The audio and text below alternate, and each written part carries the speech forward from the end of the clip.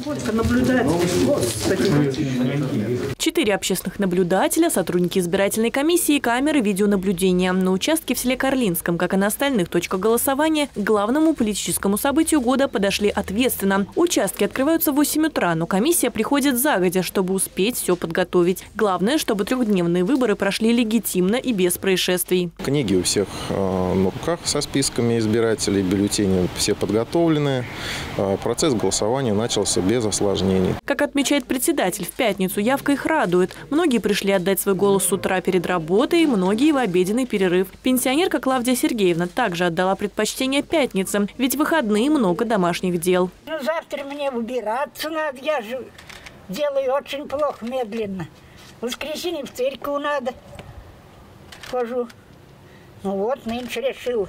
Многие взрослые приходят на голосование с детьми. Глава региона Алексей Русских, например, взял с собой внука, который с интересом наблюдал за происходящим. Мы выбираем наше будущее э, минимум на 5 лет вперед. Поэтому в зави- в зависимости от того, э, кто изберется, кто в Государственную Думу, кто станет губернатором, от этого зависит будущее Ульяновской области.